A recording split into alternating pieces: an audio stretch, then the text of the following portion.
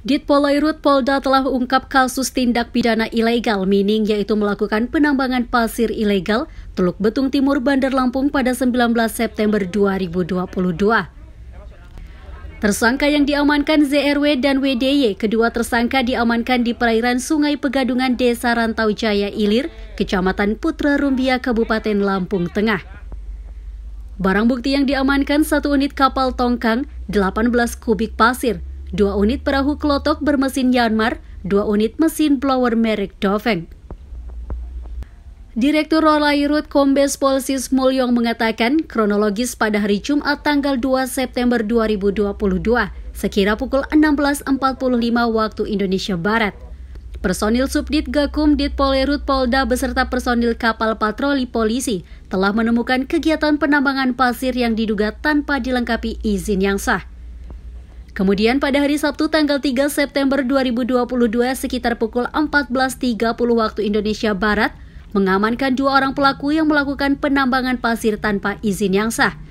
Bernama WYD dan ZRW yang terjadi di perairan Sungai Pegadungan, Desa Rantau Jaya Ilir, Kecamatan Putra Rumbia, Kabupaten Lampung Tengah.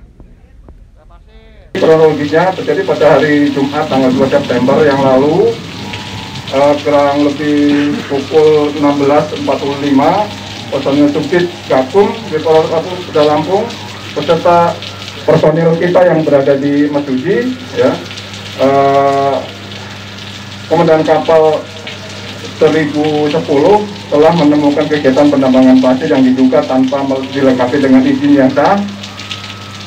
Kemudian pada hari Sabtunya sekira pukul 14.30 mengamankan dua orang pelaku yang melakukan penambangan pasir tanpa izin ini yang bernama WYD dan ZRW yang terjadi di perairan Sungai Pegadungan, Desa Pantol Ranto Jaya, Ilir, Kecamatan Putra Rumbia, Kabupaten Lampung Tengah.